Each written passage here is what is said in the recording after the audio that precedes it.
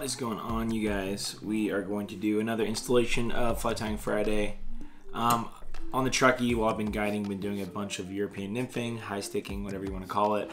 And, um, you know, having a super heavy anchor fly on that river and any river that's like that, super deep, super fast, um, lots of big pocket, and a lot of pocket water to fish, you want something super heavy. This is a five and a half millimeter tungsten bead very large uh, with the size 12 Umpqua U555 jig hook. So it's a 60 degree jig, I believe. And uh, yeah, so we'll just get started. Thread color really doesn't matter. This is going to be mostly material here. Very little thread's going to show through. Okay, start our thread base. Work our way to the back of the fly. Um, this particular pattern uh, we have a lot of nocturnal stoneflies and golden stoneflies on the Truckee, so lighter colors, at least on the California side, have been the ticket for me. So we're just gonna use this tan silly thread. And you can always color this if you need to. Um, I just kind of like the contrast, and I think that it gets eaten just as good as anything else. So I'm gonna take my silly legs, tie these babies in real quick, up.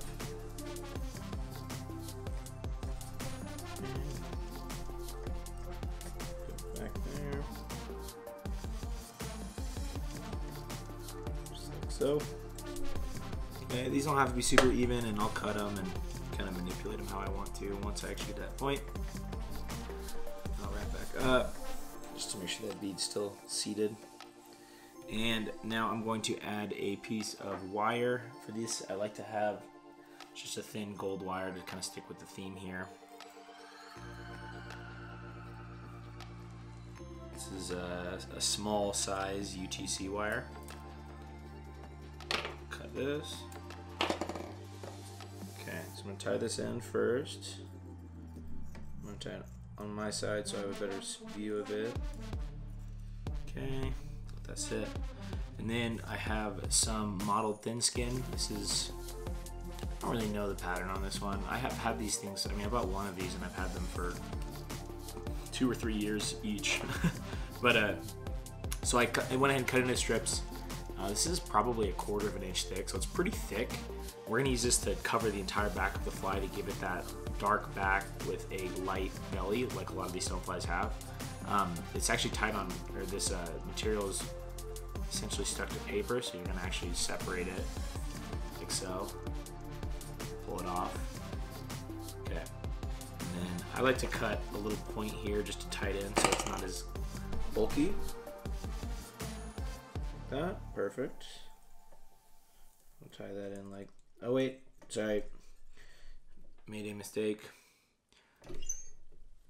I'll tie it on this offside, which makes tying it in honestly kind of a pain, but that's okay. Okay, and so now we're going to use a gold or a brown dub on this. Um, kind of depends on what you have available. For me, I typically end up tying it with like a golden brown ice dub like so. These nocturnal stones that I'm talking about have these insanely uh, they have really it's like they're black and white almost it's like black and tan very very light in color in some parts and they're pitch black in other parts. Kind of an interesting bug to see. Okay so i'm gonna wrap this back. Start my body there. You don't want it to be super thick um, but you want it to be thick enough that um, it has the profile that you're looking for. A lot of people, you know, a lot of stoneflies are tied, in my opinion, a little bit too sparse. If you actually see those things in person, they are they are thick little things. Okay, so I'm gonna fold this over like so, just like that. Okay, I'm gonna take my wire now. I'm going to wrap this up the body. And this is honestly kind of just also a way to secure the thin skin if it ever tears. Okay. So there's the body of the fly. I'm gonna helicopter this off. like so. And then I'm gonna fold this back because we're gonna use this to create a wing case, right? So fold that back a little bit.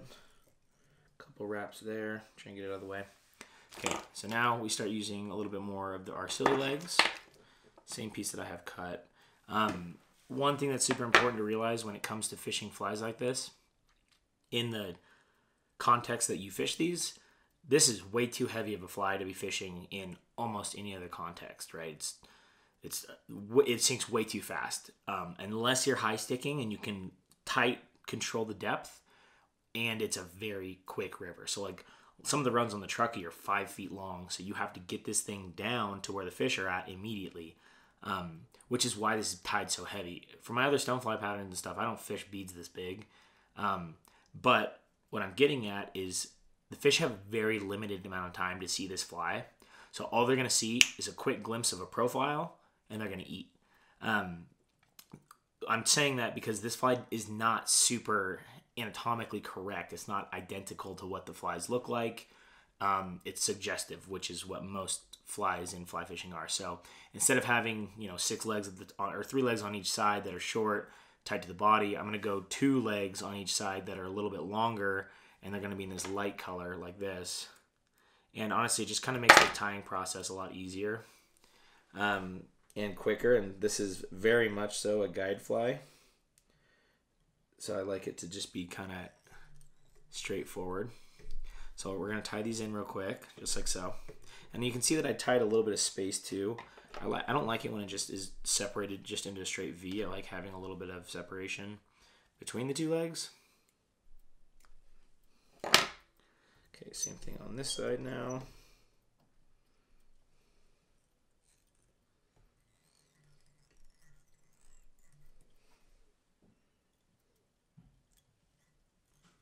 Perfect.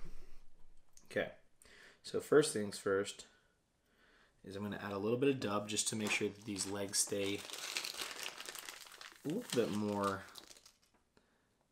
stationary.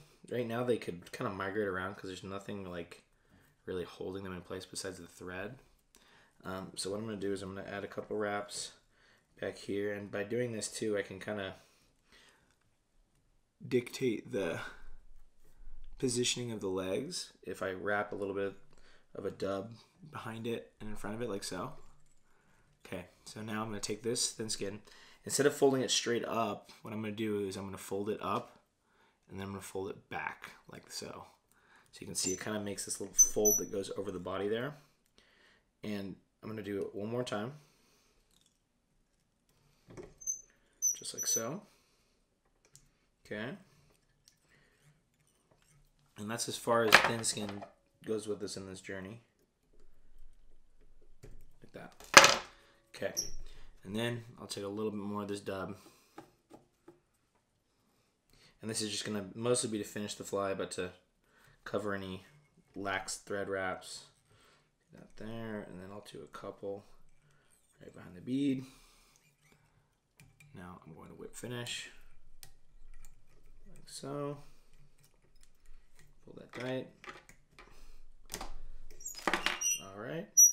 And then just to make sure that I'm happy with all the proportions, I'm going to take a look at the fly. The legs are notably too long. Um, so we're going to take this, cut them a little bit shorter. These ones up front are also a little bit too long. I'm to try my best to kind of just ballpark the length I'm looking for here. Those are about even right there, and this one like snip right up there. Perfect. And there you have it. You can kind of see you have a light belly, or yeah, light light underbody, and then it's basically black on the top. Um, this is a pretty good, just all around stonefly pattern. Whether it's a golden stone, um, you can change the colors of this right here. So if, like, say you want to make it look like a salmon fly, you would use a little bit larger of a hook, obviously, a little bit longer, and you could tie this with a black maybe mix in a little bit of orange dub on the bottom. Um, if you have some like olive stoneflies or small olive stoneflies or winter stones or you know you name the species of fly, Skwalas, whatever. Um, all of those you can just vary this exact thing, and this is a great anchor fly to fish on the bottom of your high sticking rig. and then you can fish basically whatever fly you want above it, weightless or not, because this thing is so heavy it straightens everything out, gets your flies down immediately. So uh, give it a try. Let me know what you think in the comments, and uh, yeah, see you guys next time.